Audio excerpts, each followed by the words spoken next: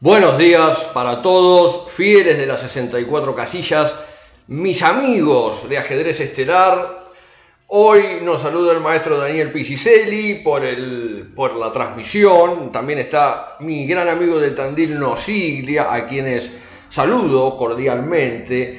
Hoy vamos a hablar de Filidor. Hoy hablaremos de Filidor, quien fue una persona muy importante Em, no solo para el ajedrez, sino también para la música, una persona que venía de una familia de artistas. Saludo a mi, a mi amiga María Elisa, que nos mira desde San Luis. Bueno, em, ¿quién fue Firidor en definitiva? Firidor era tal vez el mejor jugador de ajedrez de su época, nacido el, 7 de septiembre de 1926 en Francia. Su padre, em, el padre de Philidor, de André Philidor, de hecho el nombre completo es François André Danican Philidor, si me permiten eh, expresarme con mi pésimo, eh, con mi pésima pronunciación del francés, ¿no? El padre simplemente em, se llamaba André Danican, ¿no? Y el padre de Philidor era un músico que trabajaba para Luis XV y de hecho eh, el Philidor ese, que es por el nombre que la mayoría de nosotros los conocemos, eh, viene después, eh, viene antes, quiero decir, viene del año em, unos, unos 150 años antes del nacimiento de Philidor, más o menos, de André Philidor del ajedrecista, eh, fue el rey Luis XIII quien a su tío, a Michel Danican, le pone el apodo de Philidor. ¿Y por qué le pone Philidor y no de otra forma? Bueno, porque el rey Luis, Luis XIII lo estaba comparando a Michel, al tío de, de Philidor, que como les digo, todos en la familia tocaban algún instrumento, eran músicos, eran artistas o tenían algo, bueno. Y había un famoso músico italiano llamado Filidori que tenía mucho talento eh, en el manejo del oboe, que es un instrumento parecido con una flauta o una cosa así, y a raíz de esto, bueno, es que le pone ese nombre, ¿no? Y, y Filidor, es decir, a André Filidor, el ajedrecista, ¿no? no el padre que se llamaba igual, también trabajó con, el rey, no con Luis XIV, eh, sino con, el, con Luis XVI, y fue en, eso, él, él estaba en un coro, ¿sí? en un coro musical de Luis XVI, y en, el rato, en los ratos libres que él tenía iba viendo a otros músicos o a otras personas jugar al ajedrez, y bueno, fue así como aprendió. No hay registros de personas anteriores a André Filidor que jugaran al ajedrez en su familia, sino que él fue el primero. Y, es, un, es un hecho bastante curioso, ¿no? Como la primera generación de ajedrecistas de una familia, eh, bueno, se pueda convertir en campeón del mundo. No sé si es tan curioso en realidad. Todo, no, no fue campeón del mundo tampoco Filidor, porque en ese momento simplemente los campeones del mundo no existían. Pero es difícil pensar que una familia que viene sin esa tradición de ajedrez eh, desarrolle semejante monstruo, ¿no? El monstruo que fue, las cosas que hizo y los aportes para el ajedrez em, de los que vamos a hablar hoy. Firidor, Firidor por ejemplo, fue em, la persona de los que... Firidor fue la persona que, que creó el término pieza tocada, pieza movida, ¿sí? Fue Filidor el que inventó eso, ¿no? Antes de él, o antes de, él crear esa reglamentación, aparentemente podías tocar una y mover otra y era normal. él dijo, no, bueno, vamos a, ponerle un freno a esto. Eso como un detalle reglamentario, ¿no? Pero hizo muchas otras cosas. Por ejemplo, em, dentro de los finales de Filidor, justamente, los más famosos, les voy a mostrar primero estos dos ejemplos, ¿no? Este, hay eh, en un mismo final dos métodos para empatar. Esta es la posición y acá depende si juegan las blancas o si juegan las negras. Si juegan las negras, el final de Firidor, el estudio que Firidor hace, con esta jugada, con torre A3, eh, que va a ser bastante fácil empatar la partida, ¿no? Torre A3 no, torre A6, perdón. ¿Y qué es lo que Filidor descubre acá? Bueno, que el rey no va a poder avanzar, no va a tener ninguna manera de, de, evolucionar a la sexta fila para crear tal vez algunas amenazas de jaque mate, o por lo menos eh, para conseguir desplazar al rey del control de la casilla de coronación de este peón. Entonces ahí eh, sería como una necesidad para intentar seguir mejorando en la partida, sería importante hacer esta jugada, ¿no? Jugar E6 y cuando eso ocurre, vemos que después de torre A1 de vuelta, el rey ya no tiene más maneras de esconderse de los jaques que le va a propinar la torre por atrás, ¿no? Por ejemplo, si el rey viene para intentar dar este jaque mate, siempre lo, lo vamos a ir persiguiendo, pero una vez que el peón esté en la sexta, ¿no? Porque, por ejemplo, si nosotros intentáramos en, esta posición, vamos a suponer esta, esta posición que en lugar de jugar torre a 6, bueno, empezáramos a dar los jaques directamente. En este momento, torre de 1 perdería en realidad. Después de rey e6, que nos está amenazando mate, la manera que tendríamos de defendernos sería, bueno, salir con el rey, entonces nos van a dar este jaque en h8 y las blancas así obtienen el control de la casilla de coronación y este es otro final, que es el final de Lucena, que de hecho, em, de hecho es posterior, entonces es extraño pensar cómo Fidor consigue hacer tablas. Eh, ya sabía que de esta manera perdía, ¿no? Bueno, en definitiva, si el rey consigue, consigue esta situación y, el negro, vamos a suponer que el negro lo intente atrasar lo máximo posible, en algún momento el blanco, controlando la casilla de coronación, llega a este final y entonces va a venir... Eh, una maniobra para salir por la cuarta fila. Bueno, en este caso también Torre, H, Torre F8, por ejemplo, eh, también ganaría, ¿no? Porque ya el rey a la próxima va a salir. Y bueno, justamente lo que Filidor plantea con su método de jugar Torre A6 es eso, no dejar crecer al rey, permitirle que avance si quiere el peón. Y cuando el peón ya está en la sexta, entonces Torre A1, y este sería el primer método de Filidor, ¿sí? Esperar que el rey que el peón esté en la sexta y que cuando el rey se quiera acercar empezar a darle jaques. Después está en esta misma posición eh, el caso, vamos a suponer que eh, el blanco, bueno, si en este caso el blanco juega primero rey de 6, también torre a 6 estaríamos pasando al primer método de Fidor, ¿no? Pero vamos a suponer que nos equivocamos, que damos algún jaque de más, y que acá jugamos torre a 1, ¿no? Vamos a suponer esta posición para ejemplificar el segundo método de Firidor. Saludo a mi amigo Horacio, a mi amigo Alan y a mi amigo Miguelito que nos están acompañando esta hermosa tarde de verano. Bueno, a nosotros y al segundo método de Firidor que vamos a aparecer ahora. Existe una jugada tal vez que es la más punzante desde la práctica en este momento que es rey F6, ¿no es cierto? Y rey F6, eh, ¿qué problema tendría, digamos? Bueno, si yo ahora juego torre A6 jaque, entonces acá estaría inmediatamente perdiendo en realidad, ¿no? Porque, porque el peón podría llegar a avanzar en este caso, ¿no? Ahí el peón podría venirse para E6 y ya no tengo manera de evitar torre H8. De vuelta, lo mejor que voy a poder hacer es salir de rey, tal vez, que me den el jaque, rey c7, rey e7 y perdí. Perdí de vuelta por el tema que les decía, que las blancas tienen la casilla de coronación y van a conseguir maniobrar con la torre o jugar el final de Lucena y ganar, ¿no?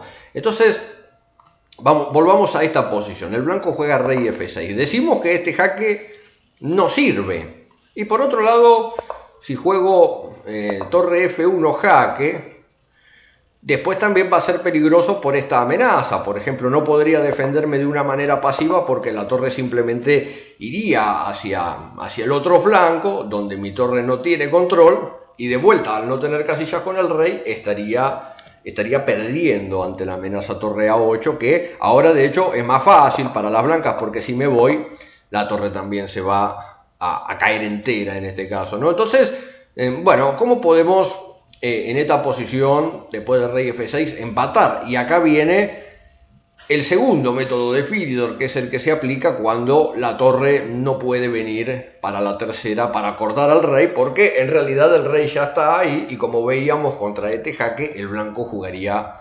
E6.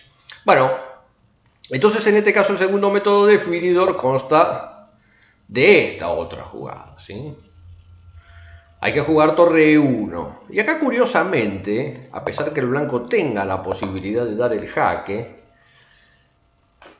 el hecho de tener la torre detrás del peón no le va a permitir al rey venirse para F7 para intentar avanzar este porque automáticamente estaría perdiendo el central.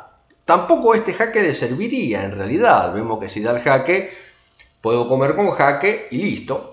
Y torre contra torre y tablas. Y si me volvés a dar jaque, entonces puedo volver o... Em, puedo volver con el rey y mantener el status quo, ¿no?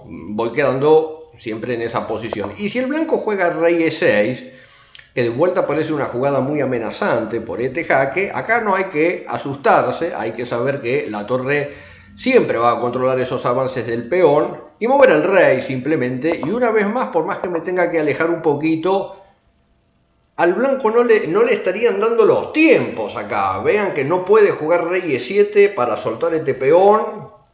Si juega rey f7, de vuelta voy a tener rey de 7 para volverlo a controlar. Y si quisiera, por ejemplo, el blanco... Uy, se me fue el mouse acá. Si quisiera el blanco, por ejemplo, jugar torre h5 para defender este peón de e5 eh, y después intentar rey e7, por supuesto que vamos a volver y no lo vamos a dejar. Y si vuelves acá, me vuelvo a c7 y así podemos estar toda la noche yendo y viniendo hasta que salga el sol.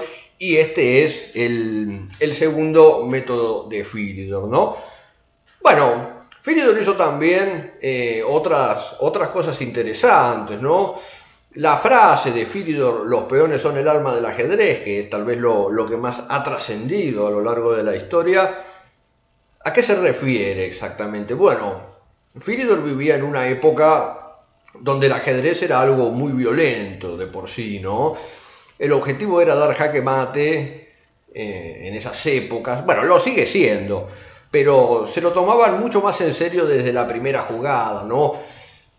Si analizamos el ajedrez de hoy vamos a ver que especialmente en la elite existe una suerte de eh, evolución en la partida, evoluciones estratégicas, obtenciones de pequeñas ventajas, gano una casillita, me como un peón, pongo el caballo bien y después a raíz de eso voy trabajando y intento dar jaque mate, ¿no? Bueno, eh, en esa época no era así. En esa época eh, las personas jugaban de una manera, en un ajedrez romántico, ¿sí? Las personas te intentaban dar jaque mate desde la jugada 8, si era posible, te jugaban un gambito de rey, ese tipo de aperturas violentas de la época, ¿no? Em, que ya hemos visto algunas partidas. Bueno, hoy vamos a ver inclusive algunas partidas de Firidor, pero volvamos a la frase, los peones son el alma del ajedrez. Básicamente lo que Philidor descubre eh, con esta frase que, hace una, una, total referencia a él es, es el concepto estratégico que hasta ese momento era prácticamente desconocido. Es decir, las personas sabían que había que desarrollar las piezas, intentarlas poner en el centro, intentar dinamismo en las partidas, pero era lo único que se buscaba, el dinamismo, el mate, irles a la cabeza a los rivales y Firidor lo que piensa es por qué no sacamos un poquito el pie del acelerador y si quedamos bien y ganamos después no habría nada de malo, ¿no? También sería una victoria en definitiva. Bueno, vamos a, ver una, una, primera una partida de Firidor acá, vamos a ver que él... Em, si bien las aperturas eh, son bastante irregulares, ¿no? Bastante mal jugadas, les diría, en relación a lo que hoy se sabe que es una apertura bien jugada. Tengan en cuenta que esta partida es eh, de 1790, ¿no? Contra un jugador llamado Andrew Smith, que debería ser un inglés. Firidor vivió mucho tiempo en Inglaterra, jugó varios torneos ahí, de hecho Firidor murió en Inglaterra. Y mm, esta es la partida, ¿sí? C6. Esta es la variante del alfil. En ese momento, en esos años, era mucho más popular alfil C4 que, el tradicional caballo F3, que hoy sabemos que, ganó mucho más territorio que la teoría lo recomienda por encima de variantes como esta, ¿no? Pero a esa gente les gustaba irte, ir apuntándote ya desde la jugada 2, ¿no? Entonces caballo F6, D3, C6. lo que quiere hacer Firidor inicialmente es jugar contra este alfil, ¿sí? Que está bien, es una idea que es correcta y se sigue jugando hoy en día. Entonces el blanco, alfil G5, agresividad, ¿no? Alfil G5, ¿qué es lo que pretende? Decir, bueno, si me jugás de 5, eh, por ahí podés, si querés podés, pero vas a tener que tener en cuenta que el caballo te va a quedar eh, sobrecargado y que, por ejemplo, en una variante así, tendrías que tomar de peón. Que bueno, tampoco está tan mal para las negras, ¿no? Porque se va a quedar con mucho centro.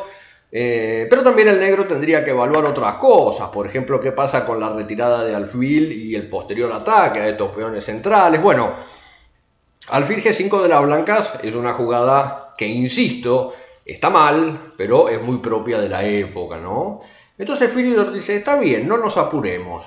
Vamos a jugar H6 primero Primero resolveme este alfil que pusiste acá, ¿qué estás haciendo? ¿Vas a comer el caballo? ¿Lo, vas, ¿Lo vas a sacar al alfil o qué vas a hacer? No, lo voy a comer. Y ahora no me jugás de 5. Y no me jugás de 5 e insiste el otro y le mete el caballo y ahora ya tiene tres piezas controlándole de 5. Pero pagó un precio también el blanco, ¿no? El blanco ahora no tiene al par de alfiles, ¿no? Y acá Firidor realiza eh, el mejor plan de la posición, que es jugar primero B5, la mejor jugada de la posición, y después A5. Esto es lo que podemos interpretar como una expansión gratuita del flanco de dama, ¿sí?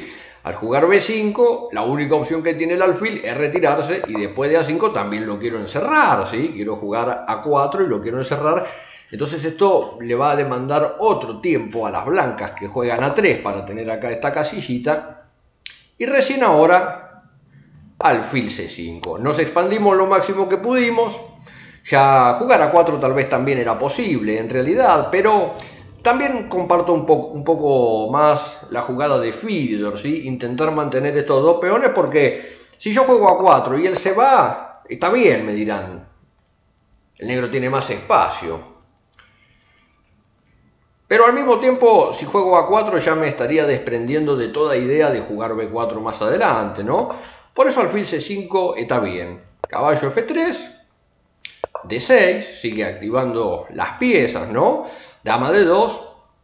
Y acá, acá Filidor hace una jugada em, bastante extraña, la verdad. Alfil E6 a mí mucho no me gustó, pero tiene su fundamento, ¿no? Es lógico que contra alfil e6 lo que el blanco va a hacer es cambiarlo, porque si, si no es el blanco quien captura el alfil, va a ser el negro quien capture este alfil, estos peones van a quedar doblados y se, daña la, estructura innecesariamente, Entonces, bueno, Filidor planea, en este caso, empezar a tener algún juego también, por la columna F. Esta jugada no la comparto demasiado, tal vez tal vez simplemente enrocar acá o caballo de 7, pero Firidor, eh, a pesar de todo, prefirió esto. Y entonces enroque corto. Y acá viene algo también que eh, una vez tuve la oportunidad de leer un libro de, de que fue escrito, bueno, hace 250 años aproximadamente, tal vez un poquito más. Y, en esa época, a pesar que Philidor, como les decía, introdujo mucho de lo que es eh, la idea del concepto estratégico a las partidas, ¿no?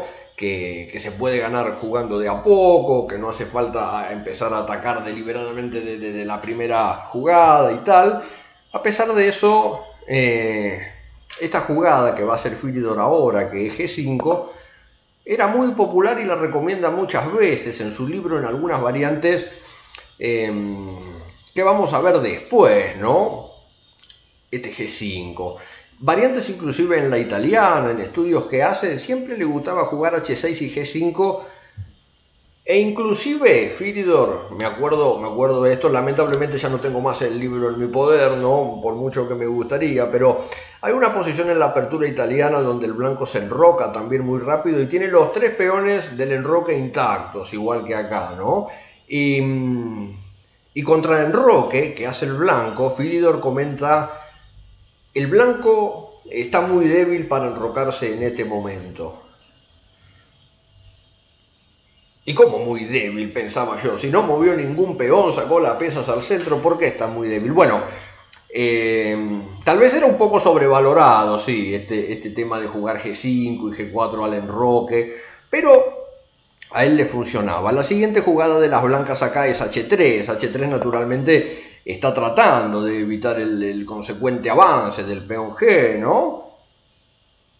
Por ahí era un poquito mejor tal vez intentar traer una torre al centro, buscar la ruptura de 4, ¿sí? Este H3 eh, no me gusta, no me gusta porque siempre hay que tener en cuenta en el ajedrez que son los focos, ¿no? ¿Cuál es el centro neurálgico? Es decir, mi rival me está jugando G5, mi rival está jugando en el flanco de rey y mi rival no se enrocó corto y tiene columnas abiertas y tiene un alfil que yo no tengo y es lógico que el negro quiera abrir la posición y atacar por ahí y acá, ¿sí? Pero eh, no, está, no está bien jugar H3, justamente por eso. Porque estoy reaccionando en el lado que tiene que jugar el otro, no yo. Si él está jugando ahí y él tiene la ventaja ahí por estas cosas que decimos, por las columnas abiertas, por el alfil mejor y todo lo demás, lógico sería intentar buscar o esta ruptura en el centro o jugar algo en otro lado. Bueno, en este caso jugadas como B4 o A4 no, servirían de mucho, ¿no? Simplemente eh, el negro no, no, le molestaría demasiado. Por ejemplo, si me jugas A4, juego B4, sigue todo cerradito y ya está. Y jugar B4 tampoco es gran cosa y de momento parece que pierde material, ¿no? Por eso tal vez sugeriría acá para las blancas este plan de torre A de 1 y de 4. Pero bueno, le juega H3, caballo D7, todavía no se podía avanzar este, porque se estaba cayendo este peón, ¿no? Que quedaría amenazado dos veces. Entonces Firidor saca el caballo, caballo H2 y acá H5. Bueno, me sacas el caballo, te querés acomodar ahí en la defensa, entonces voy. ¿No? Que por otro lado es algo que pienso que más tarde o más temprano el negro iba a conseguir hacer, ¿no? Jugando rey E7 o enroque largo y llevando esta torre de, A8 para G8 y con las dos torres acá jugar H5, G4 iba a ser posible, ¿no? Entonces, bueno, caballo H2, H5 y G3. Y este era el plan de defensa de las blancas, ¿no? El viejo truco, el viejo truco de decir, bueno, si me, avanzas este, muevo este. Y si avanzas el otro, entonces cierro del otro lado. Y esa era la gracia de la defensa de las blancas, ¿no? Y parece un poco precario, pero al mismo tiempo es cierto. Si el otro pone los peones de esta manera y yo no tengo acá este tercer peón F como para desestabilizar esa estructura del enroque, entonces se me va a complicar quebrarlo al otro, ¿no? No, no va a ser tan fácil. Entonces Firidor juega rey E7 primero. Y el otro juega rey G2. Bueno, rey G2 es una jugada que mejora un poquito al rey, posiblemente le dé esta casilla al caballo, sale de la diagonal del alfil. Rey E7 es una jugada parecida en ese sentido, es una jugada que activa las torres, mejora un poquito el rey. Vean que rey E7 no es peor que ninguno de los dos enroques en esta posición, donde el rey va a estar más seguro que atrás de todos estos peones. Bueno, Firidor acá juega de 5, vean que no, no, teme en realidad a posibles capturas que podrían llegar a abrir columnas porque todavía podría tomar de peón C, tal vez, bueno, habría que ver acá si, si hay algo contra caballo por B5, sino también puede ser de este peón inclusive, y a pesar que el rey esté por acá, por ejemplo torre a E1, Y yo acá te jugaría así, rey de 6 y me quedo ahí con el rey grandote. No sé si es lo que hubiera hecho Fidor, ¿no? Tal vez se le ocurría otro en este momento, pero rey de 6 parece que está bien, ¿no? Si, si tengo controladas las rupturas, si no me vas a poder jugar F4 porque va a ser más peligroso para vos que para mí, entonces ya dejo ese rey en D6 y listo. Si en algún momento se cambian las piezas, tengo un rey enorme para el final. Y es el famoso rey de combate, ¿no? Em, hay, muchas partidas de Smithlow que hace cosas parecidas, que empieza a llevar el rey así para adelante en la apertura ya, ¿no? En la jugada, por, por ejemplo, en, en, algún gambito de rey o en aperturas eh, de ese tipo, ha llevado el rey a situaciones em, tensas. No, Smithlow no, Steinitz, perdón me, confundí ahí, por, por, eso me quedé pensando, no, no era Smith, era Steinitz el que tiene esas partidas. Bueno, me quedé mucho anterior, ¿no? Es muy anterior en todo caso, sería mejor. Bueno, entonces de 5, el otro no le come. Le juega F3, el blanco quiere solidificar ahí y quedarse duro. Y entonces acá Firidor dice, bueno, la estructura ya no tiene más sentido avanzarla, este no sería bueno, cerraría el alfil. Eh, A4 tal vez podría ser. B4 no, B4 no me gustaría mucho porque le puede dejar esta casilla al caballo que puede resultar un poco molesta, le puede dar lugar al blanco a abrir columnas en el flanco de dama. Y siempre eh, centrémonos en esa idea, ¿no? Quien tiene que jugar en el flanco, en el flanco de dama es el blanco. Entonces, Mejor dejemos todo como está, dice Filidor, y maniobra, una jugada de maniobra. ¿A dónde está yendo este caballo? Bueno, a G6 naturalmente, y después va a buscar la manera de llegar hasta esta casilla. Eso es algo, esto es algo que está haciendo Filidor hace 250 años, ¿no? No, no es que, eh, bueno, tal vez no sea una maniobra tan complicada ni tan difícil, pero ya llegar hasta esta posición, ¿no? Digamos, contener ese, ese ímpetu violento que existía en la época de intentar dar jaque mate, eh, qué sé yo, en, esta misma, eh, en la misma posición, algunas jugadas atrás, cualquier otro jugador de la época ya hubiera avanzado esos peones, los hubiera sacrificado, hubiera armado más alboroto en el flanco del rey, ¿no? Firidor tranquilo y siempre manteniendo alguna ventaja. El otro juega caballo E2, va controlando, caballo G6, viene C3, el torre G8. Bueno, se va preparando para, para acciones en la columna y el otro juega D4. Bueno, finalmente el blanco eh, también reacciona en una parte del tablero.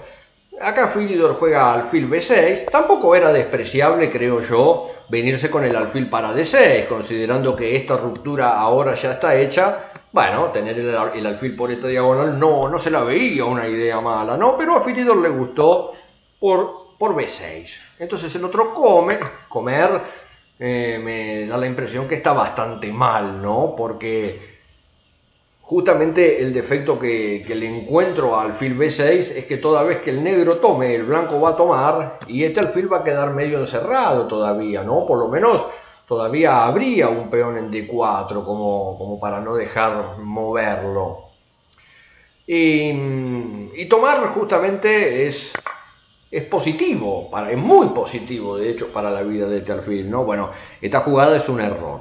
Acá se puede tomar con cualquiera de las dos, tomar de caballo tal vez también hubiera sido interesante. A Filidor le gustó más tomar de dama, respetando eh, toda esa maniobra que había hecho con el caballo y sus intenciones eh, de meterlo por acá en algún momento o, de generar algo ahí en el flanco del rey, ¿no? Bueno, juega caballo de 4, el rey al, estilo Steinitz, al estilo Steinitz que nació 100 años después, ¿no? Bueno, torre a E1 y finalmente le juega H4. No creo... Eh, no sé si era el mejor momento para jugar H4. Tal vez se podía intentar alfil T7, ya que el otro también está gastándose el caballo entero, ¿no? Dejándolo ahí en, D4. Tal vez se podía jugar de esa manera. Bueno, este le juega H4, le juega Dama F2. Ahí viene alfil C7, ahora sí, caballo E2. Va defendiendo, vean que eh, ese punto de, G3 es el, más importante en este momento, ¿no? Y acá, sin embargo, en esta posición existe eh, una, una manera para el negro forzada de ganar, que esto, esto puede llegar a ser en algún punto parecido a Fischer, ¿no? Fischer no era un jugador táctico, es decir, era un jugador que por supuesto tenía una mano combinativa muy pesada y que si había un sacrificio bueno lo iba a hacer, pero la fuerza de su juego estaba en generar esas posiciones tácticas, esas posiciones donde realmente se pudiera atacar o sacrificar o hacer algo ¿Y cómo se generaban estas posiciones? Jugando impecable estratégicamente, ¿no? Bueno, esta partida eh, se parece mucho, digamos, a, las de Fischer en ese sentido, ¿no? Las torres están optimizadas, la dama centralizada, el alfil mirando para allá, el caballo listo para saltar por algún lado, el rey fuera de todo peligro en D7, ¿no? Y acá le juega H por G3, le comen de dama, le cambian la dama, Parece que se están cambiando todas las piezas, sin embargo aparece este jaque y acá ya se va a caer un primer peón. Y acá, eh, bueno, este caballo está siendo amenazado ahora. Y el gran problema es que, por ejemplo, contra una jugada así, yo puedo traer también la torre y contra torre F2, el blanco no va a resistir más, no va a resistir más. Esta atacada, esta atacada, las dos torres en la columna, el alfil mirando también para H2. Acá el blanco perdería material, notoriamente, ¿no? Entonces, eh, lo que intenta hacer Andrew Smith acá es jugar torre G1. Y acá, eh, bueno, acá va a venir esta jugada que es muy natural en realidad, ¿no? esta figura que el caballo le está sacando esta casilla al rey y que el rey tampoco tiene las otras dos porque están ocupadas o porque alguna otra pieza la controla, ¿no? Eso lo fuerza al blanco a jugar de esta manera. Filidor captura el caballo, rey G3 y acá le juega caballo H3 que le ataca esta torre, entonces el blanco dice, bueno, si me comes esta torre, me como esta torre y entonces Firidor le da este jaque mate que es bastante elegante con el alfil cortando la diagonal negra, ¿no? La torre queda jaque defendiendo al caballo, el caballo que está siendo defendido por la torre queda jaque a su vez defiende el peón y el peón defiende a la torre, ¿no? Como que todas las piezas se defienden entre sí y ahí queda petrificado el rey de las blancas. Firidor eh, jugó también algunas partidas contra el sirio Philip Stamma. Philip Stamma e-, era un compositor también, un ajedrecista muy fuerte. Y fue en 1746 cuando a Filidor le dan el, título, no de campeón del mundo, pero sí eh, de ser considerado el jugador más, más fuerte del mundo, tal vez, ¿no? Desgraciadamente esas partidas con Stanma, esas que jugó, em, no las encontré por ningún lugar y bueno, me gustaría, me gustaría haber, haber visto cómo jugaban entre ellos, Filidor era muy superior de todas formas, pero hablando de Stamma, del sirio Philip Stamma, voy a mostrarles una, una composición de él, ¿sí? Les voy a mostrar una pequeña composición de este rival de Fididor que también hizo buenos aportes al ajedrez, ¿no? Existe algo que es llamado el mate stamma, que es el mate que se da con el rey y el caballo solamente contra el rey y uno o más peones, para lo cual naturalmente vamos a necesitar la colaboración del peón. Si el negro en este caso tuviera el rey y el peón en el medio del tablero, bueno, va a ser tablas, no lo podemos, no lo podemos forzar a que se ponga para la foto, ¿no? Pero en este caso, que es un peón torre, sí, este mate Stanma se da con el peón torre y sería de la siguiente manera. Primero lo, lo asfixiamos al rey, este peón viene para acá, la única que tiene el negro es jugar rey a 1. Acá viene caballo C5, con lo que si este peón se adelanta el blanco ya daría jaque mate, entonces la única es volver de rey, y acá hay que tener cuidado, hay que tener cuidado porque em, si el caballo viene acá, vean que el negro está ahogado, ¿no? Entonces eh, lo que el blanco tiene que hacer es rodear al rey y buscar una casilla para este caballo que cuando el rey esté en A1 controle tanto la casilla A2 para que el rey no se mueva y controle también la casilla B3 para dar mate cuando el peón avance, ¿no? Bueno, esa casilla es C1 justamente, entonces el caballo viene para D3, viene para C1, el rey no tiene esta jugada, lo que les decía, el peón tiene que avanzar porque no, no tiene otra posibilidad y ahora sí, este sería el mate Stanma del famoso eh, jugador sirio, después radicado en Inglaterra. La verdad era más inglés que, sirio, ¿no? Pasó más tiempo de la vida en Inglaterra, Stanma. Pero bueno, este, este era el mate Stanma que les quería eh, compartir por no haber podido conseguir ninguna, ninguna partida de, ellos dos, ¿no? Que de hecho tal vez, eh, bueno, no es claro que existan esos registros todavía, ¿no? Vamos a ver otros ejemplos de finales de Philidor, por ejemplo, por ejemplo este final de acá. En este final eh, lo que está ocurriendo es que este peón está defendiendo esta torre y el rey defiende el peón y la torre me puede mantener el rey cortado por acá. Entonces eh, parece ser muy difícil ganar esto con las blancas, ¿no?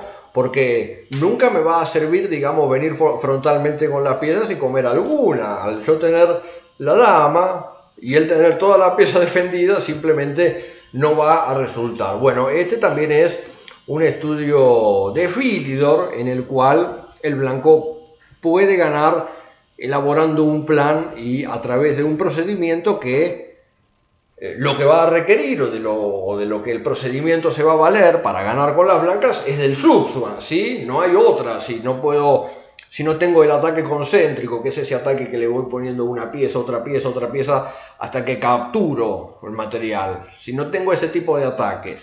No tengo el ataque revolucionario, que es otro concepto de Nimzowicz, que es cuando sacrificas una pieza y la posición se abre y pasa algo. Bueno, no hay eso. Si solamente tengo la dama, ¿qué voy a sacrificar? Entonces, eh, la única opción que tenemos es maniobrar y dejarlo subsuan. ¿Pero cómo? Bueno, primero te jaque, ¿no? Y acá hay que ver a dónde se va el rey de las negras. Vamos a ver primero qué pasaría si el rey se viniera para E6, ¿no? Para seguir defendiendo este peón y la torre y todas. Entonces, en este caso, dama C7. Em, acá la torre, bueno, se podría mover la torre para C5, por ejemplo, intentando tal vez seguir el principio de defenderse siempre, de mantener todas las piezas defendidas todo el tiempo, ¿no? Con la torre en C5, defendiendo esas dos casillas, y ahora dama de 8. Y este es el secreto, la dama por la octava es el secreto de este final. Entonces el otro se queda con la torre por E5, ¿no? También puede jugar torre, E5, torre F5 jaque, después vamos a ver algunos ejemplos, torre F5, rey E4 y eh, rey g4, perdón, y el blanco también ganaría de todas formas. Después vamos a ver qué pasa. Vamos a suponer torre e5 por ahora, dama e8 y dama c8. ¿No? Si el rey viniera, por ejemplo, para f6, bueno, con esta jugada estoy inmediatamente agarrando al peón de d7, ¿no? Por ejemplo, eh, bueno, d5 ya lo perdería, es difícil defenderse. Entonces, parece más correcto venirse por acá para seguir con todo defendido. Entonces dama c8. Y la dama te está controlando los retornos del rey. Entonces torre e4 jaque, otro jaque. No hay este jaque, entonces torre e4. Y, ah, seguís defendiendo todo, le dice Filidor acá. Pero la torre ya está un poquito más suelta, porque ahora la defiende el rey, no el peón. Entonces se da el jaque de dama se da otro jaque de dama, única, para seguir defendiendo las dos, este jaque de dama. Por ejemplo, eh, rey c6 o torre d4 se puede hacer acá. Vamos a ver primero torre d4, que parece que sigue todo defendido. Te dan otro jaque, se acerca el rey. No hay jugadas posibles. Vean cómo el blanco fue consiguiendo con esa maniobra acercar al rey hasta donde está el peón, ¿no? Que no es, no es una tarea tan fácil, la verdad. Em, bueno, entonces acá dama C2, rey B5, otro jaque, otro jaque, otro jaque. Acá rey C6 perdería inmediatamente por dama D5 jaque.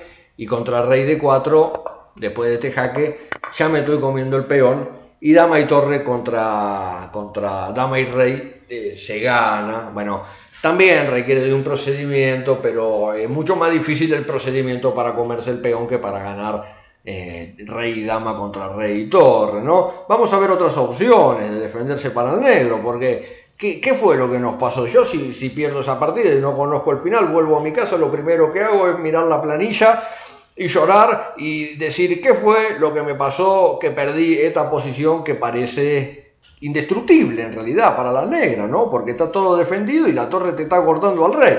Si la miramos fija como un cuadro, la lógica indicaría que es tabla, pero no. Se puede forzar como vimos y como vamos a ver ahora en otra variante. Por ejemplo así. Y ahora torre F5 jaque. Vamos a ver qué pasa si da este jaquecito. Bueno, de todas maneras el rey se va a ir. Entonces viene torre E5 ahora. Entonces dama E8 jaque. Dama D7. Y esta, esta es la idea, ¿sí?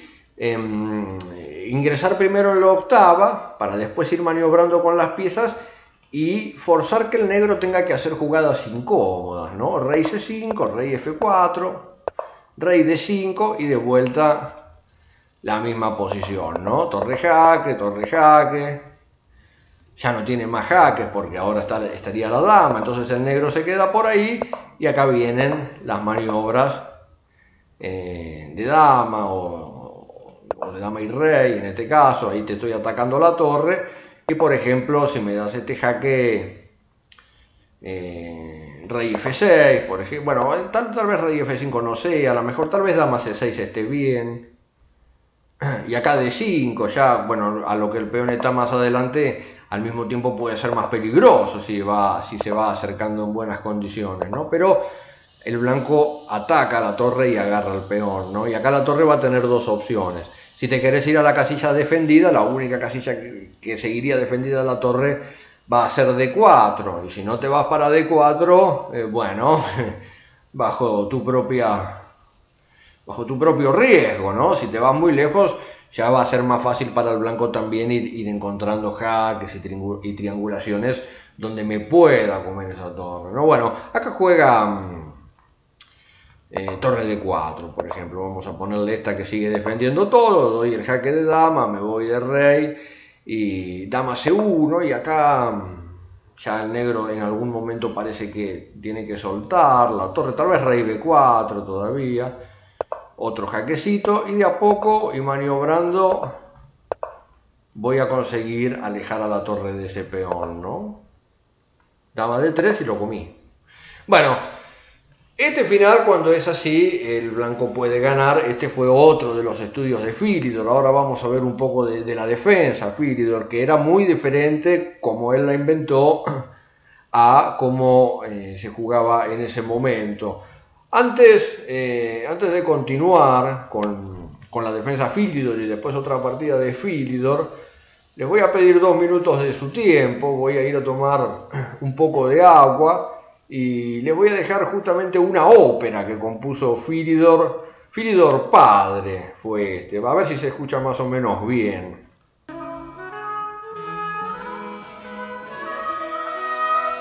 Ya vuelvo.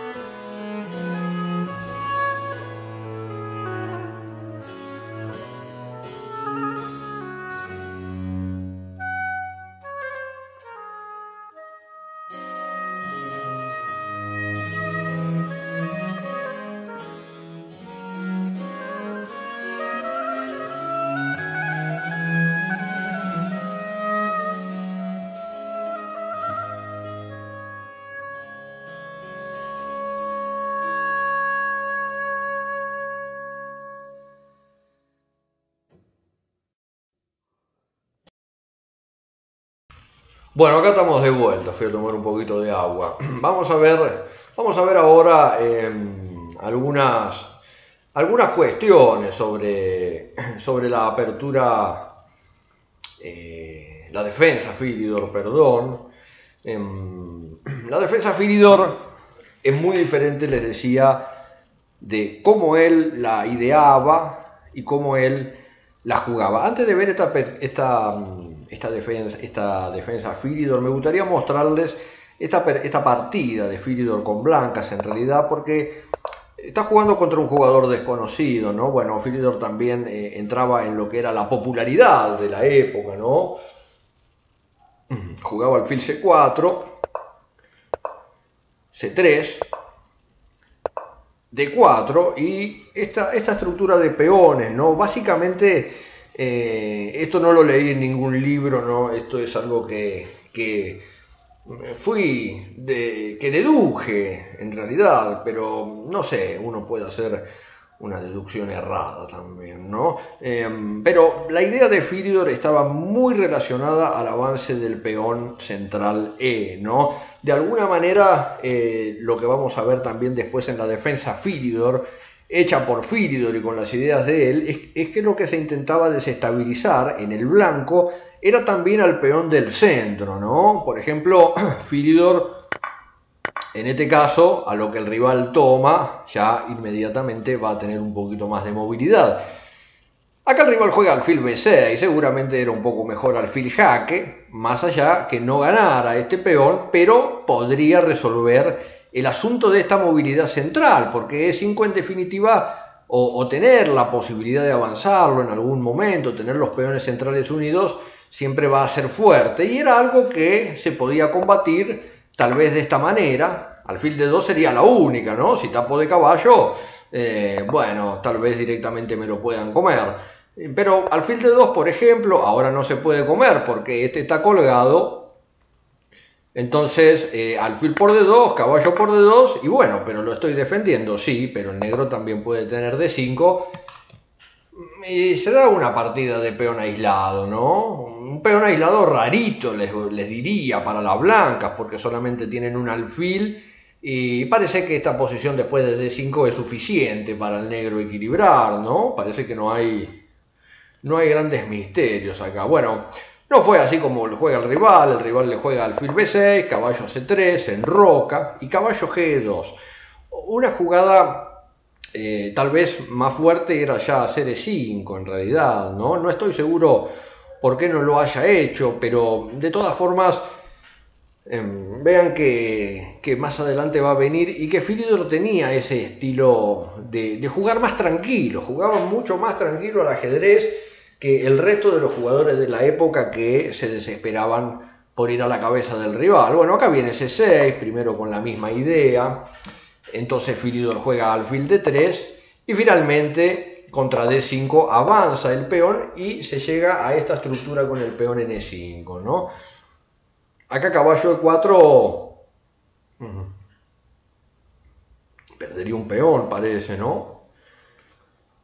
También este caballo N2 explica un poco los asuntos de las clavadas, del alfil, con lo que Filidor naturalmente veía venir, que el rival iba a jugar D5 algún día, Acá juega caballo E8, alfil E3, F6, dama de 2, de vuelta. En un jugador de la época hubiera hecho F4 o caballo F4 para pasar la dama. Filidor, dama de 2, vamos tranquilitos. Cambia. Alfil E6, caballo F4 para atacar este alfil de E6, dama E7, acá se cambian los alfiles, enroque corto, Caballo de 7, bueno, en roque corto es otra excentricidad de la época, ¿no? ¿A qué jugador de esa época se le hubiera eh, ocurrido enrocarse corto acá? A Filidor solamente, ¿no? Cualquier otro posiblemente ni, ni, se hubiera enrocado, hubiera buscado algo más agresivo, principalmente sacar esta dama que le hubiera gustado más acompañando al alfil y buscando sacrificios o ataques, ¿no? Pero bueno, Filidor no, la, jugaba posicional, la jugaba tranquilo, caballo de 7, F4, torre a E1, ¿eh? optimiza, va optimizando todas las piezas, Filidor era, era así, era un optimizadorcito, G6, H3, D4 y ahora le mete el caballo. Bueno, este D4 también es, es, un, es un error bastante grosero, ¿no? Porque más allá que esté generando esta casilla para vos, la casilla E4 para el caballo de las blancas es notoriamente más fuerte porque voy a tener G5 en el futuro o cosas por el estilo. Acá juega H6, dice, bueno, pero no tenés G5. Bueno, B3. B3 defiende este, proyecta algún alfil C4. El otro juega B5, dice, tampoco quiero que me juegue ese. Bueno, entonces G4, entonces vamos con el otro.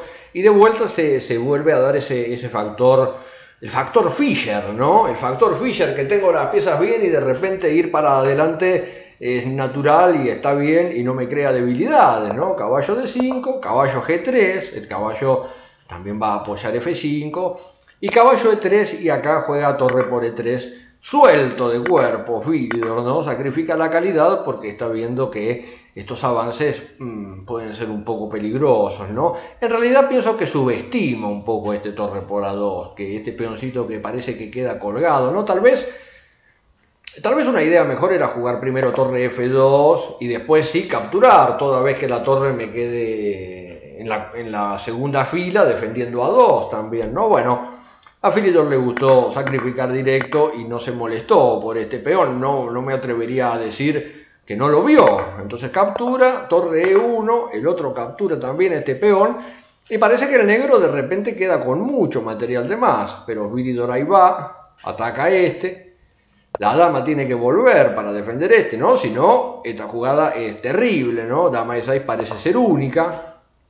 Ya que dama F7 tampoco se podía por E6, ¿no? Entonces juega dama E6, F5.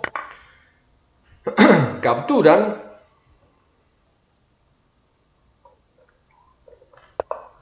y dama de 5. Bueno, a pesar del material de menos, cambiar la dama parece estar bien. Estos peones son muy fuertes. Caballo B6, F6, torre B2, alfil B3. No hay manera de bloquearlos a los peones. No es muy incómoda la posición del negro. Tal vez el negro tendría que haber hecho algún esfuerzo por, por seguir generando molestias en el rival, ¿no?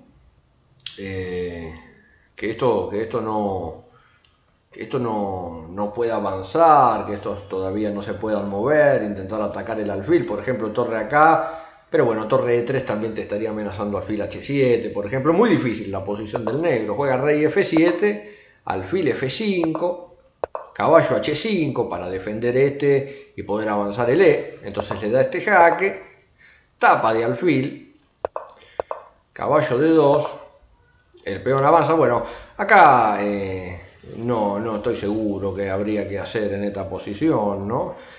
Eh, tal vez si sacrifico este y torre por, por más que, se quede con un peoncito solo al tener el alfil y el caballo tan cerca del rey, no parece difícil ganar esa posición tampoco con las blancas, ¿no? Bueno, este le juega caballo de dos, tal vez intentando cerrar ahí la canilla, ¿no? Meterle el tapón en E4, pero bueno, este ya avanza, este también avanza y el caballo nunca llega a ningún lado, juega rey G7, eh, de manera tal que contra E7, eh, bueno, tal vez se pueda capturar este peón y sacrificar la torre por los dos peones, que también es desesperado, pero Filidor hace una más fuerte, juega alfil H5, que ya defiende el peón y que amenaza un, E7 que es imparable. Vean que lo mismo contra caballo E4, esta jugada estaría ganando, ¿no? Estaría ganando porque, eh, bueno, si te vas de torre te corono, si me comes acá también te corono, el problema es que va a entrar en juego una dama entera, ¿no? Y así Filidor gana esta partida que, para mí, este torre por E3 acá fue raro, ¿no? Subestimó un poco el hecho del negro capturar estos peones, pero de todas formas su plan de avanzar estos centrales acaba triunfando, ¿no? Bueno, vamos ahora sí a la defensa Filidor, propiamente dicha. Vamos a poner el tablero eh, con las negras. Vamos a... Vamos a cambiarlo así. Ahora lo tenemos del lado de las negras y la, defensa Filidor que radica en la jugada de 6 en este momento, en esta, en esta manera de defender el peón, en realidad por los antecedentes históricos de la época, em, sospecho que lo que más se jugaba en ese momento era, era esto, ¿no? Era alfil C4 más que D4. Pero de todas maneras, Philidor en su libro analiza la jugada D4, solo que acá, que hoy en día hay hay tres variantes que son prácticamente dos, es, decir, una es tomar y las otras dos variantes son jugar caballo D7 o caballo GF6 o caballo F6, que son ideas bastante similares en realidad, porque acá si el blanco toma, el negro también va a tomar y esta partida parece que al simplificarse también después los peones centrales se podría equilibrar bastante fácil con negras, pienso yo. Entonces el blanco generalmente opta por defender este peón y entonces el negro termina jugando caballo b 7 que es más o menos lo mismo que jugar caballo d7 acá y entrar por transposición eh, en esa línea, ¿no? que ahora vamos a ver un poco más.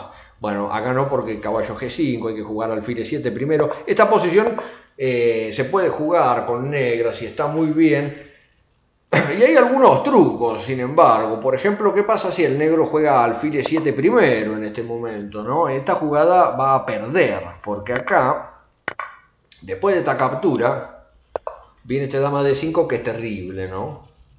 Siempre que el caballo esté ahí obstruyendo al alfil de C8 hay que prestar mucha atención a las casillas blancas, al peón de F7, especialmente si no estamos enrocados, ¿no? Si es una situación así en la, en la apertura parecida a esta. Bueno, y acá no se puede jugar caballo H6 porque te lo van a comer. Es muy difícil esto, esto para, para el negro, ¿no? Em, pierde un peón por lo menos. Bueno, no sé si un peón o un poquito más porque, porque me voy a comer este y te estoy amenazando ese y mate. Entonces, esta no se podría. También si toma de caballo, de todas formas va a perder material el negro. Vean que después de este cambio y dama h5, estos dos peones quedarían amenazados, por lo tanto, alfil e7 en este momento perdería material. Em, otra jugada acá como caballo gf6 también podría traer graves problemas, no por caballo g5, ¿eh?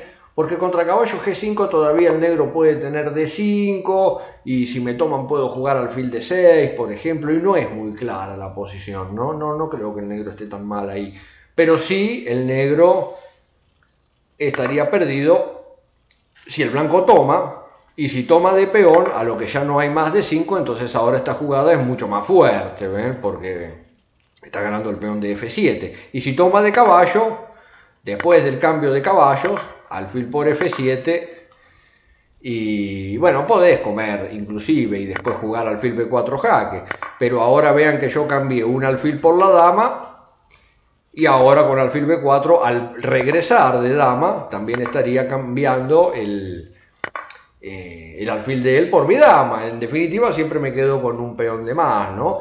Bueno, pero ¿cómo era que Philidor quería jugar la defensa Philidor? Que, que ahora es otra cosa. A él le gustaba esta jugada, ¿no? Y vamos a, vamos a volver a, a poner un poco de, énfasis en ese asunto que, les decía de Philidor, de ese, ese, descubrimiento. No sé si es ese descubrimiento o si simplemente es una idea mía, una locura mía, que Philidor lo que quería hacer en realidad era mover a ese peón del centro de las blancas y avanzar el suyo, ¿no? Por ejemplo, es notorio eh, que si el blanco toma acá, este peón ya podría avanzar, ¿no? por ejemplo, por ejemplo, una cosa así podría ser ahora tomar y defender y después, en la medida que pueda, el negro va a intentar solidificar ese peón, ¿no? Posiblemente, si el blanco juega acá rápido, por ejemplo, F3, em, bueno, también tomar para el negro ahora sería peligroso por todas estas amenazas, ¿no? Entonces, eh, tal vez jugar alfil e7, ¿no? Intentar atacar este caballo, bueno, no sé, tal vez las, eh, otras posibilidades acá pueden ser jugar dama e7, tal vez, ¿no? Que amenaza a tomar. El asunto es que estas posiciones siempre, siempre van a ser buenas para el blanco, ¿no? La teoría demostró que este F5 está mal. Otras ideas que también se han visto en partidas de la época o de un poquito más para acá, por ejemplo, hay una partida de, de, Beard, jugador, de, creador de la variante F4 en la 1, ¿no? Y en esas partidas Beard juega bastante esta línea y él toma y acá contra D5 cuando el caballo se va, juega de 4 y ahí más o menos está pasando algo parecido a lo que veíamos en esta partida, en la segunda partida de Firidor contra, eh, contra este jugador anónimo, ¿no? que Firidor también intenta desarrollar una estructura basada eh, en la idea esa de poder avanzar el peón central, ¿no? Bueno, eh, Firidor también habla bastante de esto en su libro, y por ejemplo contra caballo de 5 Ah, tenemos que cuidarnos del jaque, jugaremos caballo F6 y, sigue la partida, ¿no? Bueno, el blanco siempre puede jugar F3 para intentar combatir ese centro, ¿no? Hay bastantes cosas. La mejor defensa, dice que es eh, mi amigo Alcarium. No sé si la mejor defensa la Fidor. Tengo mis dudas. Permítame dudar en este sencillo pero emotivo acto. Bueno, eh, la otra posibilidad sería que capture y, entonces él también captura y de todas formas se estaría pasando a una estructura similar, ¿no? Estas eran las ideas de Fidor. Jugar, jugar este F5 y jugar de esa forma e intentar combatir rápido o desestabilizar a ese peón para avanzar un peonel. Bueno, esto es horrible y no lo jueguen nunca con negras porque está mal y el blanco tiene muchas maneras de generar ventaja. Por ejemplo, una de ellas es alfil C4. Alfil C4, y si comes este, te van a matar con caballo por E5. Eh, y si me como el caballo, entonces acá viene este jaquecito. Si te vas de rey, te dan mate, dama por E5, ¿no? Y tapas de alfil, dama por mate. Y si tapas de peón, bueno, te están comiendo hasta el hígado, ¿no? Por, la pieza que sacrificaron, eh, te comen la torre y el blanco también tiene un peón y este rey está raro. Quedó perdido el negro, ¿no? Este alfil C4, por ejemplo, es fuerte. Y tampoco se podría acá jugar de 5 ahora, como para seguir con esa idea que tenía Philidor de, de solidificar el centro de esa manera, porque acá viene sí dama H5, ¿no? Acá al blanco le dan los tiempos para jugar ese dama H5 y contra G6, caballo por G6, peón por, y cuando me coma la torre, por más que este alfil quede atacado, la dama sigue capturando piezas, ¿no? El caballo también caería si el negro se come el alfil, entonces tal vez lo mejor sea defender, y bueno, de vuelta el negro se queda con una, con una calidad de menos, ¿no? Esta posición de todas maneras... Mm, no sé, eh, puede, puede, haber algún riesgo, el, negro tiene todas las piezas menores y conserva la estructura, el blanco tiene que jugar con cuidado, pero la realidad es que el blanco está muy mal, ¿no?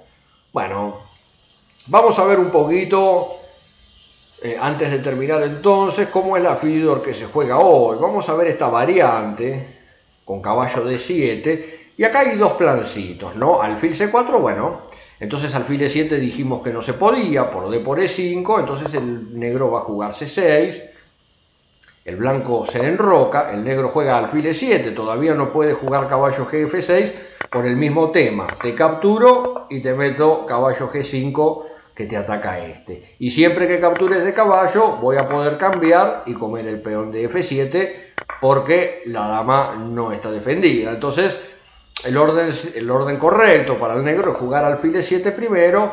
Eh, acá, por ejemplo, caballo c3, caballo gf6, a4, enroque corto, torre e1. Y acá hay dos planes a saber para las negras, ¿no? El plan número uno es jugar a 5 e intentar generarle esta casilla al caballo eventualmente, ¿no? Que cuando estos peones se cambien, el caballo pueda tener la casilla C5 y estructuralmente está bien para el negro porque el peón de C6 también mantiene bastante limitado al caballo de C3, ¿no? Esto, esto está bien para el negro, es una de las opciones. El blanco acá lo que generalmente hace es jugar H3. Acá el negro puede tomar, conforme a la idea de, seguir utilizando esta casilla C5 con el caballo. Y es una especie de, de India de rey, de la variante Brostein de la India de rey, solo que no está lo esencial para que sea India de rey que es el, alfil en G7. Bueno, no puede ser India de rey nunca porque viene de un peón rey, ¿no? Y este peón está en C2, nunca va a ser India de rey. Pero me refiero a las ideas de la posición que van a pasar por ahí, torre E8, tal vez dama B6, cosas por el estilo. Bueno, este sería un plancito, jugar a 5 considerando que esta ruptura existe e intentar en algún momento meter el caballo por acá. Y después el otro plancito que es eh, intentar jugar B5, pero no ahora. Entonces me dirán, bueno, juguemos A6 primero. No, A6 tampoco, porque te meten A5 y toda vez que adelantes este peón uno o dos pasos, también el otro va a tomar al paso acá y el peón en A6 ya nos queda feo, ¿no? Nos queda expuesto y atacado. Entonces el orden correcto para este otro plan es jugar B6, torre B8, A6, B5, más o menos así, ¿no? Supongamos que el blanco igual juegue H3 para ver el plan. Entonces A6. Línea de 4. y acá, por ejemplo, alfil A2. Y torre B8 para salir primero de esta columna. Y finalmente el negro consigue jugar B5.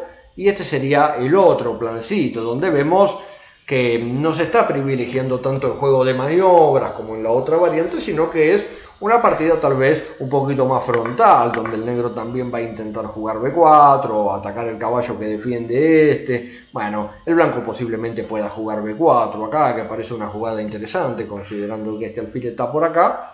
Eh, y bueno, esta era, estas son las posibilidades de la defensa Philidor cuando viene o en este orden o en el otro orden que les mostraba que sería exactamente lo mismo, ¿no? En este caso no hay problemas en alfil E7 porque siempre que venga algún caballo G5 ya voy a tener el enroque, ¿no? Entonces este orden, si juego caballo F6 primero, puedo hacer alfil E7 antes de C6. Puedo y debo además, porque si juego C6 ahora, entonces vuelve a aparecer esta jugada que me hace daño, ¿no?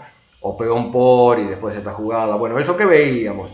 Entonces alfil E7, acá viene acá vemos que caballo G5 no sirve, entonces enroque, por ejemplo, enroque yo también, torre E1, va a venir C6, A4 y de vuelta, o el plancito de jugar así, así y después B5, plan número 1, o plan número 2, que es jugar a 5, ver si esto se cambia y el caballo va para C5. Y bueno, estimados amigos, esto ha sido un poco de la vida de Firidor, espero que les haya gustado. Están todos invitados a, conocer los cursos de Chess Cleaver. Abajo en la descripción del video tienen alguna información. Si quieren contactarlo eh, por WhatsApp, por Facebook, desde la página de Facebook. Varias opciones. Mañana vamos a ver, también a esta hora, vamos a ver algunos, algunos finales similares, ¿no? Para mañana les voy a traer un, final interesante eh, en el cual eh, pasa algo muy curioso porque Naidorf va a refutar al autor de un libro que escribe un libro y dice en este final, este final es tablas y Naidorf juega ese final contra ese jugador y se lo gana. Bueno, fieles de las 64 casillas, espero que les haya gustado y les mando un fuerte abrazo para todos.